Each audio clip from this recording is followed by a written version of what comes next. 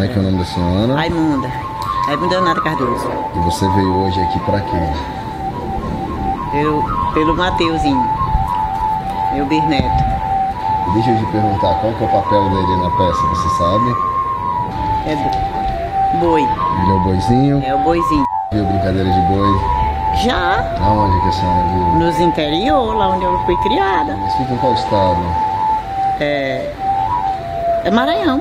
Ah, no Maranhão. É Maranhão, sou maranhense. Maranhense. Então a senhora tá acostumada a ver os boizinhos. Uhum. Boizinho Gosta. lá é boião, quase da altura desse, desse prédio. Cada gaião.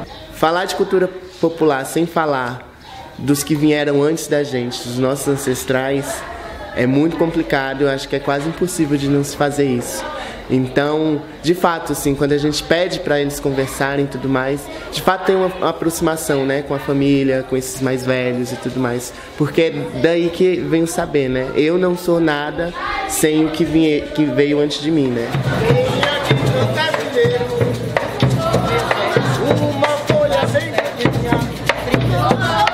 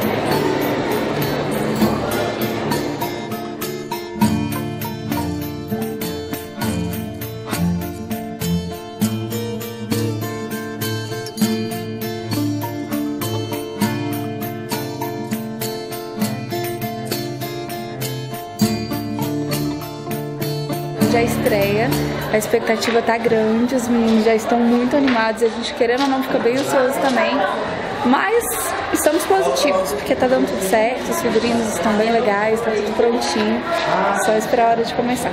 Qual foi a parte mais divertida de todas? a parte que a gente descobriu que a gente ia fazer uma peça.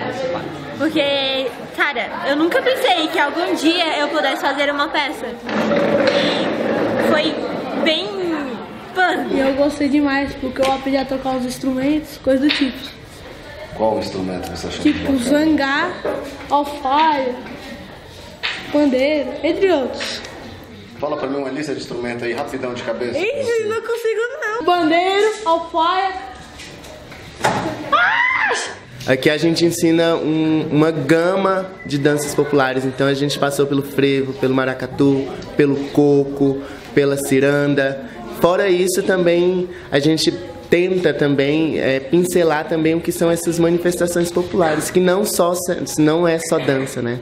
Tem o teatro, tem a música, tem a interpretação, tem toda uma questão de um contexto que a gente também tenta trazer para dentro da, da sala de aula. É triângulo, é. Ai, zangar, zangar, zangar. E esse que tá tocando aqui atrás, o que, que é isso? É preá. Cadê a preá? Pega lá a preá pra fazer um Preaca, é preaca, é preaca, é preaca. Esse. Essa é a hora de se concentrar. Agora, ó, eu quero que todo mundo feche o olho um pouco. Feche o olho um pouco. Lembra de tudo que a gente passou aqui nessa sala, de toda a preparação. pega na mão do, do colega que tá aí do lado. Tudo que a gente passou pra chegar aqui hoje. Levanta e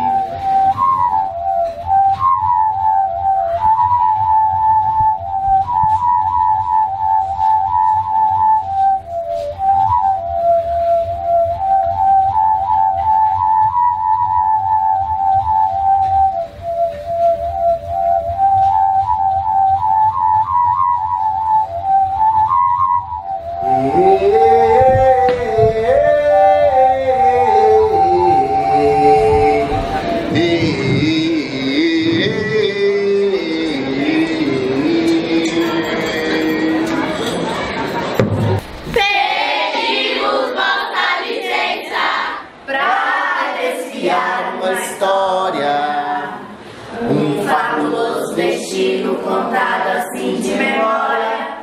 A história desse boi que vai comer um universo diferente para eles, porque aí entra dança, entra uma série de outras coisas que o Alan e a Luciana vieram abordando, abordando ao longo desse período. Então eu acredito que transforma muito sim é, dinâmica, ritmo, disciplina, trabalho em equipe, enfim, uma série de coisas que, que vai engrandecendo. A gente busca todos os dias com que, esse, com que os nossos estudantes se sintam abraçados na escola. Nós temos alunos com, com necessidades especiais severas, como o caso do TOD, transtornos, transtornos de comportamento mesmo. E o teatro, a dança, ver o, o nosso aluno que tem esse transtorno dando uma resposta extremamente positiva, vendo ele gostar do espaço em que ele está e saber eles aprenderem que eles foram abraçados e hoje se mostram, estão satisfeitos, estão felizes. Para a gente é maravilhoso. A inserção deles é, dentro de uma escola verdadeiramente inclusiva. É isso que a arte fez com eles.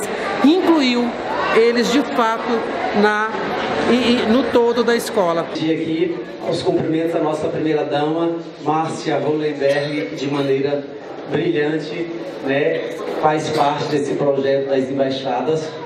É, gostaria de cumprimentar aqui é, a grande representante da embaixada, Jennifer Uller.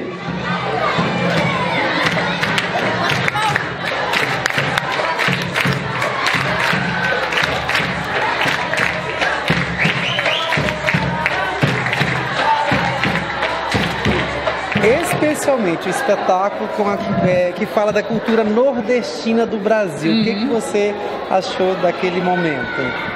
Foi a primeira vez que eu vi um espetáculo assim, porque eu tenho somente quatro, não, cinco meses aqui no Brasil e, pouco para conhecer o país. E eu, eu fui muito contente ver e aprender com vocês e os meninos tal uh, talentosos que compartilharam a cultura. Foi uma troca de cultura para mim. Eu aprendi muito hoje. Que bom, fico feliz, Jennifer. Muito obrigado pela sua presença.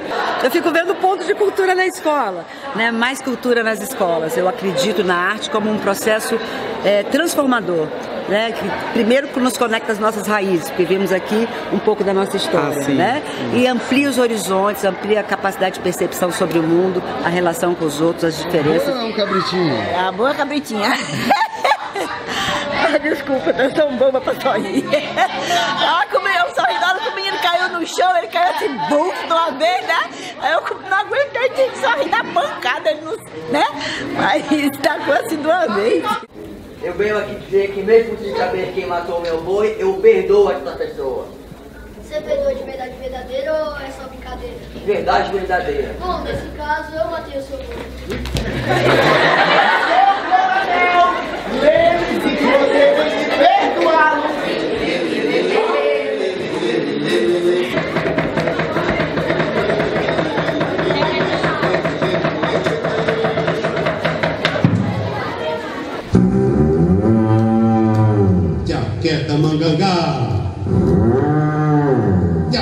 pra lá, boi velho gente! Ei, boi! Ei, boi! Vamos dançar o boi, pessoal? Vamos!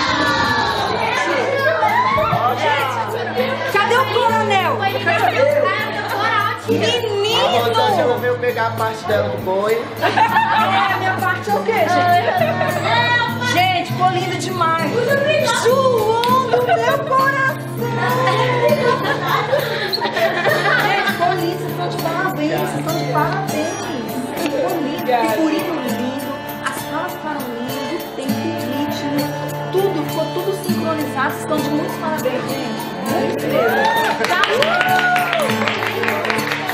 da cultura brasileira é muito importante para nós. É, a gente tem que, que deixar a nossa cultura viva sempre. E trabalhar a cultura popular com vocês é muito maravilhoso porque é a nossa certeza de que a gente está fazendo um bom trabalho.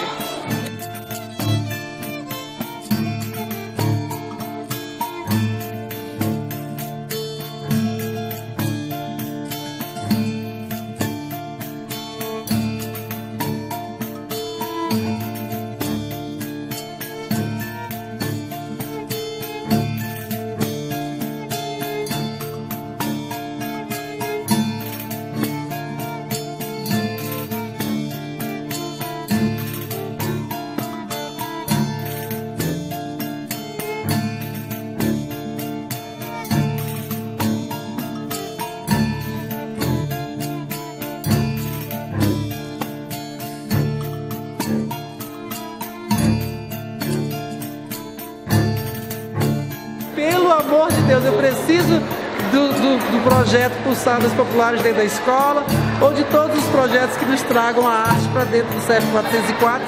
A gente vai correr atrás para acontecer mais vezes, porque a gente quer isso, sim, né? Tanto a divulgação da cultura popular, quanto essa alegria que a gente emana e que os estudantes amam estar nas aulas.